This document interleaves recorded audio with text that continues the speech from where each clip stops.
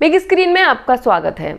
उन्नीस सौ सैंतालीस में मिली आज़ादी को भीख में मिली आज़ादी बताकर लोगों के निशाने पर आई कंगना रनौत फिर चर्चाओं में हैं। शनिवार को उन्होंने पूछा, उन्नीस में कौन सी लड़ाई लड़ी गई थी? उन्होंने कहा कि अगर कोई उनके सवाल का जवाब दे सके तो वह अपना पद्मश्री सम्मान लौटा देंगी और माफ़ी भी मांगेंगी। चौंतीस वर्षीय अभिनेत्री ने इंस्टाग्राम पर कई सवाल उठाते हुए विभाजन और महात्मा गांधी का भी ज़िक्र किया। उन्होंने आरोप लगाया कि महात्मा गांधी ने भगत सिंह को मरने दिया और सुभाष चंद्र बोस का समर्थन नहीं किया। उन्होंने बाल गंगाधर तिलक, अरविंद घोष और बिपिन चंद्रपाल समेत कई स्वतंत्रता सेनानियों का ज़िक्र करते हुए एक किताब का अंश भी साझा किया और कहा कि वे उन्नीस सौ सत्तावन की स्वतंत्रता के लिए सामूहिक लड़ाई के बारे में जानती हैं। लेकिन 1947 की लड़ाई के बारे में कुछ नहीं जानती। कंगना की इंस्टाग्राम पोस्ट सिर्फ़ सही विवरण देने के लिए अठारह सौ सत्तावन स्वतंत्रता के लिए पहली सामूहिक लड़ाई थी और सुभाष चंद्र बोस, रानी लक्ष्मीबाई और वीर सावरकर जी जैसे महान लोगों ने अपना योगदान दिया। अठारह में मुझे पता है, लेकिन उन्नीस में कौन सा युद्ध हुआ था? मुझे पता नहीं है। राष्ट्रवाद का उदय हुआ, साथ ही दक्षिणापंथ का भी, लेकिन उनकी अकाल मृत्यु क्यों हुई? और गांधी ने भगत सिंह को क्यों मरने दिया?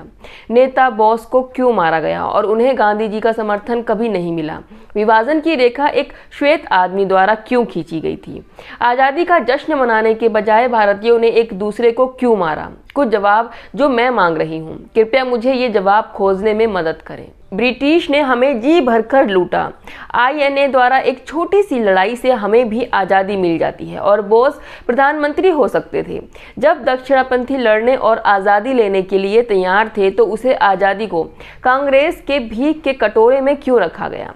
क्या कोई मुझे समझाने में मदद कर सकता है? अगर मुझे सवालों के जवाब खोजने में मदद करता है और ये साबित कर सकता है कि मैंने शहीदों और स्वतंत्रता सेनानियों का अपमान किया है तो मैं अपना पद्मश्री वापस कर दूँगी।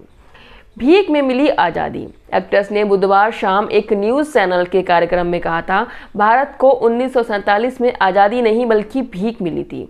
और ये आज़ादी मिली है 2014 में, जब नरेंद्र मोदी सरकार सत्ता में आई। इस बयान के बाद राजनीतिक पार्टियों के नेता, इतिहासकार, शिक्षितवादी समेत तमाम लोगों ने उनका पद्मश्री वापस करने की मांग की थी। एक्ट्रेस ने अपने बयान के उस हिस्से को भी स्पष्ट किया, जहाँ उन्होंने कहा कि देश ने 2014 में स्वतंत्रता प्राप्त की। उन्होंने कहा, जहाँ तक 2014 में आज़ादी का संबंध है, मैंने विशेष रूप से कहा था कि भौतिक आज़ादी हमारे पास हो सकती है।